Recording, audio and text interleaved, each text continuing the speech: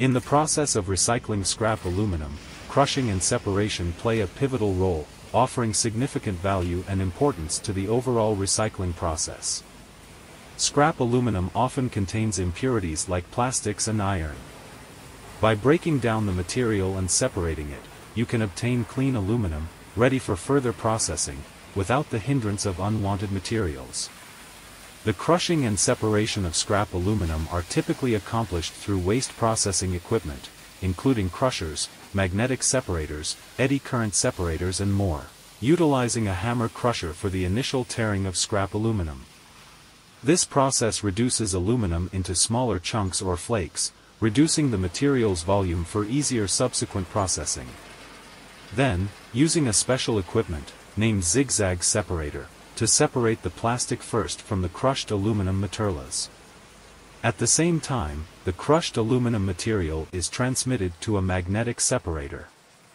As aluminum is non-magnetic while iron is, the magnetic separator effectively removes iron impurities, ensuring a cleaner and more refined aluminum stream. Following the magnetic separation stage, the shredded aluminum material undergoes an additional step known as drum screening. In this process, the material is conveyed through a rotating drum with strategically placed apertures.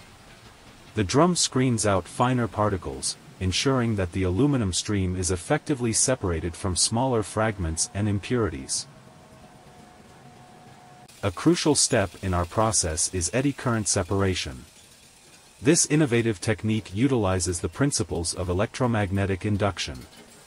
As aluminum is non-ferrous and conducts electricity, when exposed to a changing magnetic field, created by an eddy current separator, it generates its own magnetic field. This interaction causes repulsion, separating the aluminum from non-ferrous materials, such as plastics. Eddy current separation is particularly effective in fine-tuning the aluminum stream and eliminating remaining nonmetallic impurities.